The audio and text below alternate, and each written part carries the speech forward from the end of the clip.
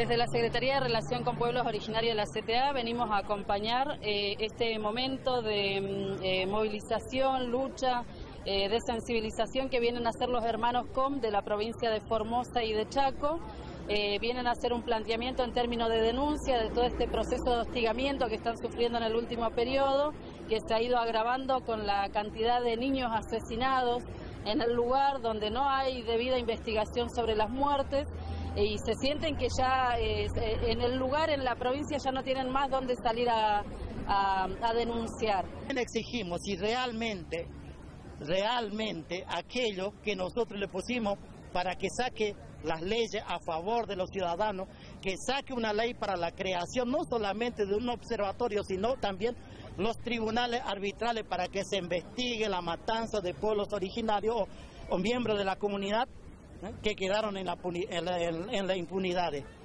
Esto no solamente en Nancón, Formosa se está hablando de derechos del niño, pero sin embargo mataron a dos chicos que no son indígenas, el caso de Nico y Nacho, que hasta ahora no tienen justicia estos chicos. En el caso de Formosa, los hermanos FOM de Formosa vienen a hacer un planteamiento muy concreto, muy sencillo, que es el, el incumplimiento de la ley 26.160, una ley que ordena al Instituto Nacional de Asuntos Indígenas a realizar un relevamiento técnico jurídico catastral de las tierras de las comunidades indígenas en todo el país, que no se ha realizado, que ya tiene fecha de vencimiento. El, en noviembre de este año se vencen los plazos de esa ley y no se ha cumplido.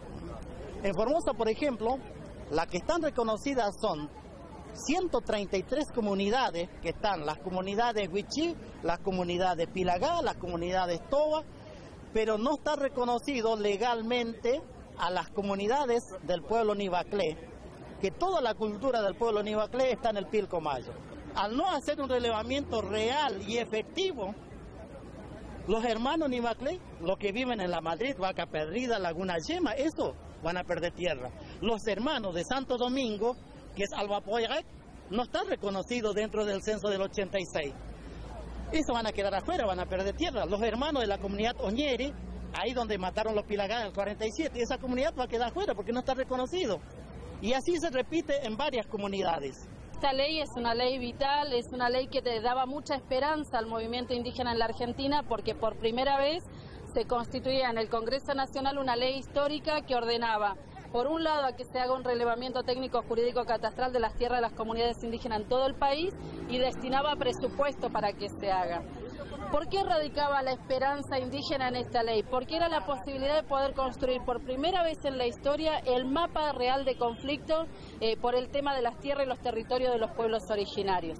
Iba a servir tanto de instrumento político para el movimiento indígena en términos de planteamiento de ordenamiento territorial indígena, como también entendíamos que le iba a servir al propio Estado para empezar a discutir políticamente en serio con el movimiento indígena una política de ordenamiento territorial en términos generales a partir de la aplicación de los derechos reconocidos en la Constitución, en los instrumentos internacionales, en las leyes internas más locales. Ellos lo que hicieron es firmaron el convenio a puerta cerrada. utilizando con el censo del año 86, porque recuerde que en el año 86 se creó la ley integral de la origen en la provincia de Formosa, y cuando se crea la ley 426, se crea el Instituto de Comunidad de Origen. A partir de ahí lo inscribieron las comunidades y lo entregaron los títulos comunitarios. Esto, la verdadera dueña de las tierras comunitarias son las asociaciones civiles. Entonces yo para tener un espacio dentro de la comunidad tengo que ser socio de una comunidad. Pero lo más grave de todo esto, que la ley dice de que en caso que si la comunidad se extingue, los bienes de la comunidad vuelven al Estado. ¿Y cuáles son los bienes de la comunidad? La tierra. Los títulos no son subsistibles ni transmisibles. Es decir, la persona que es titular de ese terreno, al, morirse no son hereditarios, vuelve a ser el Estado. Entonces el gobierno decide a quién le va a destinar a esa tierra. Estamos nuevamente asistiendo Lamentablemente los argentinos, los pueblos originarios, estamos asistiendo nuevamente a un momento trágico de la historia de este país, que es la desidia con la que el Estado está tratando o anulando la demanda de los pueblos originarios. Hoy incluso hablábamos de que ya estamos casi a, las puertas de un terrorismo de Estado contra los pueblos originarios. La justicia que la deja en total inseguridad jurídica a los pueblos, no tienen la posibilidad de tener una debida defensa en cada una de las acusaciones que se le hacen por defender sus territorios. El poder político mira para otro lado, prefiere priorizar las alianzas estratégicas en términos de desarrollo y no potenciar y resguardar la vida, la cultura, el desarrollo identitario de las comunidades en cada uno de esos espacios. No se toma en valor el aporte sustancial que podríamos hacer todos los pueblos originarios de este país para el desarrollo del conocimiento universal. Entonces el gobierno le está sometiendo a este, tiene, tiene todavía esa mentalidad del colonialismo. ¿eh? Porque ¿de dónde viene el término colonial o la colonia? ¿De quién trajo ese término cuando hablamos de la colonia origen la primavera? Estamos usando el lenguaje del colonialismo. ¿Por qué no decimos la comunidad Pocna? ¿Por qué no decimos la comunidad de Nancom? Entonces, exigimos a los senadores, a los diputados nacionales, a la justicia misma de la República Argentina, que levante y que recordan las comunidades. Y esto lamentablemente habla a las claras de que todavía los gobernantes tienen una materia pendiente para la relación con los pueblos originarios, que es abrir un poco la cabeza y saber que los pueblos originarios, quienes ellos armaron un, estereotipo de, de, figura para que la sociedad nos mire como los pobres, los brutos, los ignorantes, los maloneros, los borrachos, somos personas con conocimientos que venimos trayendo y desarrollando desde generación en generación. Nuestros abuelos nos transmitieron el conocimiento que sus abuelos le transmitieron que recibieron de sus abuelos.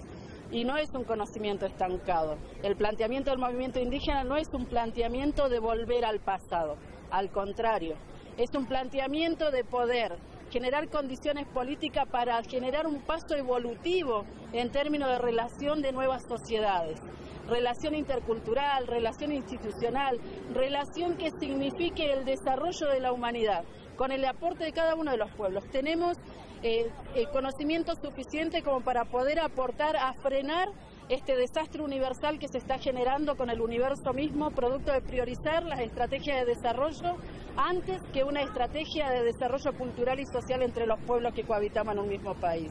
Con mucha fuerza, fortaleza en su lucha, fortaleza en su territorio, en su camino, fortaleza en esta propuesta política, en esta necesidad de hacer saber lo que está ocurriendo en sus territorios. No es casual, en mes de enero, vacaciones, los funcionarios disfrutando de las vacaciones en alguna costa de por ahí. En los territorios del norte están matando cada día a uno de nuestros hermanos, niños, ancianos, jóvenes, por la única razón de ser indígenas, defender el territorio, defenderse del modelo sojero que están implementando en la zona norte. Se está priorizando un modelo de desarrollo estratégico a partir de la utilización de los elementos naturales de nuestros territorios para matarnos, para excluirnos de ese lugar. A los hermanos Com, las gracias por llamarnos la atención, las gracias por invitarnos a la calle en este mes, en este día, las gracias por salir a decir que esta es la Argentina que hay que empezar a mirar y acompañar, la Argentina de los pueblos originarios que quieren seguir siendo originarios. A todos y cada una de las organizaciones sociales presentes, agradecerle el, espacio, el, momento, agradecerle la compañía, a los medios de comunicación, a todos los compañeros que están aquí de, la comunicación social. Gracias por este aporte, gracias a ustedes esta lucha se va a conocer. Gracias a ustedes el planteo de los hermanos Com va a llegar al lugar que tiene que llegar. Compañeros, Estaremos aquí las veces que el pueblo com lo solicite, las veces que los pueblos originarios en el país lo soliciten. La CTA va a estar caminando, luchando codo a codo con cada uno de ustedes. Fei Kaiboten,